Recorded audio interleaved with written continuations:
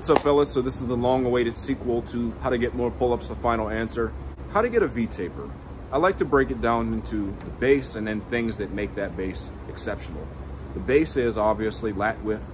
You're gonna also have your upper back size, but also your core definition. On top of that, the rear delts, side delts, and low-key your triceps are really underrated and contribute to the V-taper substantially. So we're gonna talk about how to build each of those muscles categorically which by the way, fellas, if you're a big mover, someone that likes to horse around weight, getting all those muscles bigger are gonna get you really strong. So strength-minded fellas, you listen up as well.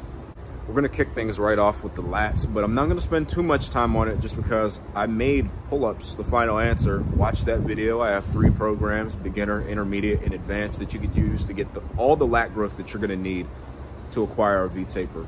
One thing I will say is, is that if you connect better with a barbell row as opposed to a weighted pull-up variation, just swap the two out.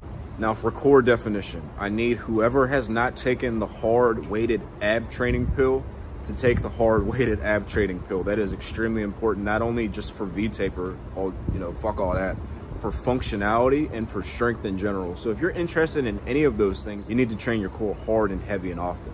Specifically for aesthetics, we're gonna focus on the low back and the obliques, the muscles that you can see from the lat spread from the back definition in that area is going to draw the eyes in. What exercises do I use? Well, in general, I'm going to give you guidance so that you can select these movements for yourself.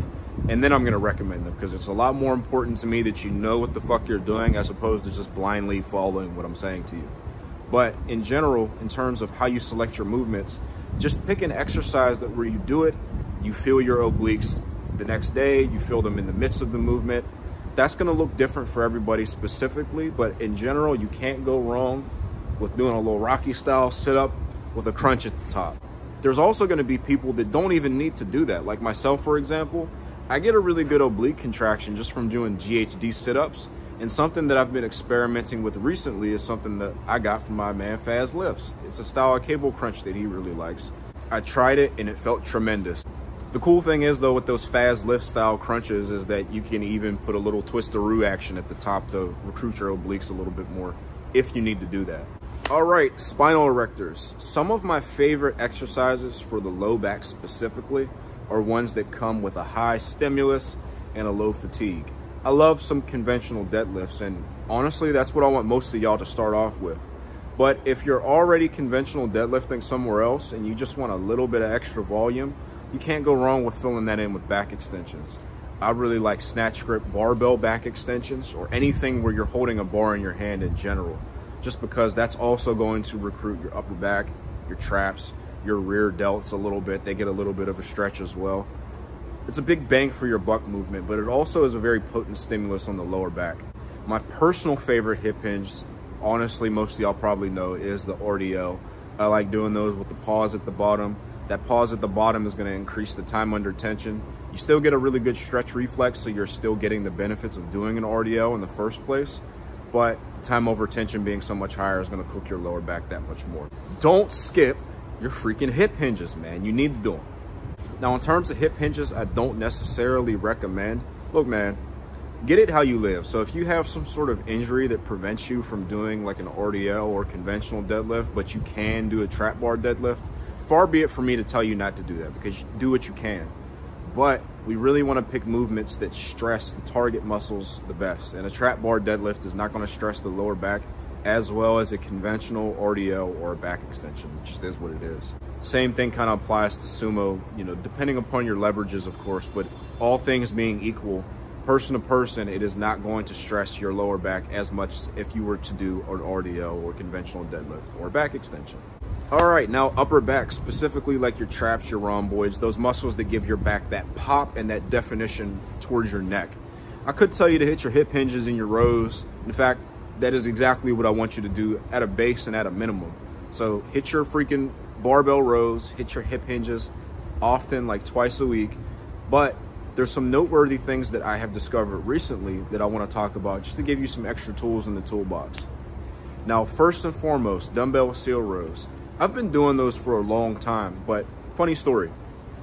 The fat pad that I use to increase the range of motion on my bench so that I can do them at home is so wide, I need to pull the dumbbells out, kind of like a reverse fly almost, to get the amount of range of motion that I need to feel my back working. What I found is, is that that just stresses my back, specifically my upper and mid back so much more. Also, the peak contraction is a lot higher for the same. I don't know the biomechanics is what I'm saying to you. I'm just telling you the sensation and what my body does, okay? It's funny because the second thing that I'm going to talk about confirmed somewhat why it works the way that it does. But again, I was watching a Faz Lifts video where he was talking about the Kelso shrug.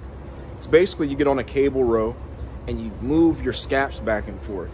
And that almost felt exactly like the dumbbell seal row, at least that top action. So that's something that I've been including as well recently. What's really good about the Kelso shrug is that you're not limited by anything other than your upper back's ability to stretch and contract, and then your grip, which you can navigate that just by using some Versa grips or straps or whatever. Now, if we're gonna talk about upper back, I gotta dance with the girl that brought me.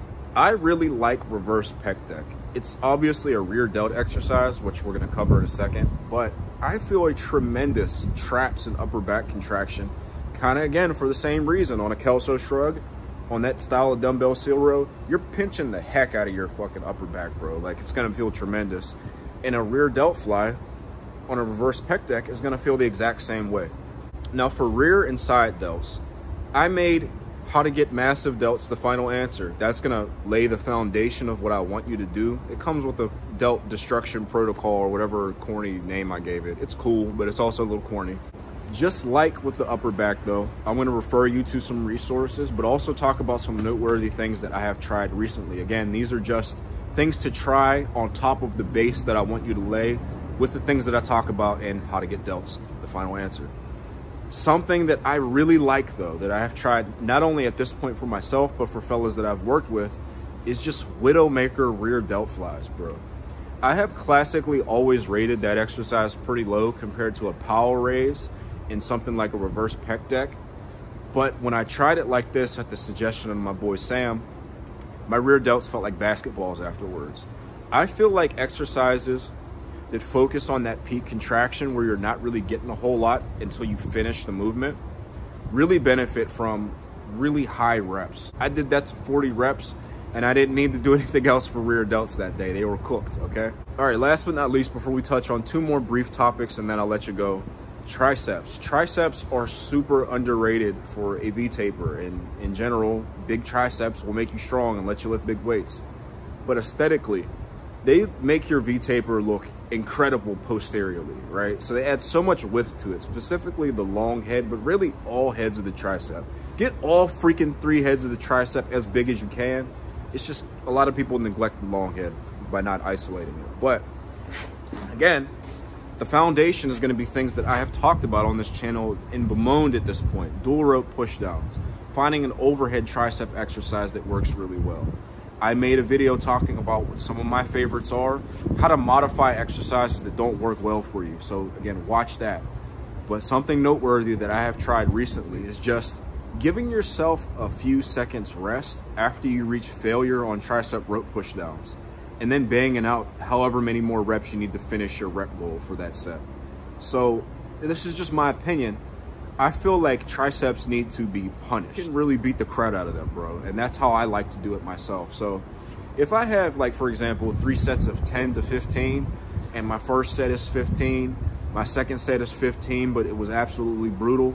And I get to like 12 reps on my last set, I'm gonna give myself like five, 10 seconds rest and bang out those last three reps just because, again, the triceps need to be punished for them to grow the best, in my opinion. That's just something that I've tried recently. Strength enjoyers. I'm a strength enjoyer too. I told you I'd give you something to chew on. Here's why I think that you should approach some things more like a bodybuilder at times. You want to get good at compound movements. You like horsing weight around. Even just in terms of making sure that your form is tight. Getting things like bigger lats, bigger rear delts, a larger upper back. Bigger triceps, obviously, are going to help improve all of those things. When it comes to deadlifts, keeping the bar tight to your body, a lot of lat strength comes into play with that. You get bigger, stronger lats, you're gonna have an increased capacity to be able to do that. Bigger triceps equals a bigger bench press. Bigger shoulders, rear delts, that's gonna help on overhead pressing. All of these things contribute to adding on to your compound movement. So if you want to look at it as, look, my physique is a side effect of my training and that's how I view it, that's perfectly fine and I have total respect for that. But just getting bigger muscles in general is going to help your compound movements, even if it's the show muscles like delts, for example. That's going to help your presses. It's going to help your rows. It's going to help all the things that you're doing to get stronger. Now, for the hypertrophy enthusiasts, there's someone that is inevitably thinking in their head, there is no flipping way you did not mention pullovers. I think there was even a fella in like a community post that said, bro, you better talk about pullovers. Listen, guys, I think that those are an excellent exercise. I can see what they have done in other people's physiques in terms of expanding their rib cage, which will obviously make your V taper that much sharper. But here's why I don't do them specifically. And it's not because I have a problem with the exercise. It's not because it doesn't work. In fact, if you can make room for it in your program, it has a lot of benefits. My Jax colleagues have made videos talking about their benefits, and I think though those are great videos, and I agree with them. So track on what I'm saying to you. If you can fit it in your program, I personally cannot fit it in my program because I'm doing so much work to bring up weaknesses, and I'm also doing a lot of work to keep my strengths to strength and improve those as well. Natural hypertrophy and me were just talking this one time, right? He saw me doing pullovers on my Instagram story and he hit me. He was like, bro, I see you took the pullover pill. Congratulations. Da da da. And I said, hell yeah, man. I love pullovers. I'm going to do them three times a week and da da da. And shortly after that conversation, I did not do pullovers for, it, it had to have been like two months ago, bro. I haven't done pullovers since we talked about them. And it wasn't because I did not feel the benefits in doing them. In fact, when I was doing them, I felt my rib cage expanding. I think every time I talk about pullovers, I talk about how they expand your rib cage and they work your lats. And then I end up not doing them because I'm trying to put them in a session where I'm already doing so much to improve my strength and physique that I just can't fit in anything else. Now, there's something key that I want to teach you there.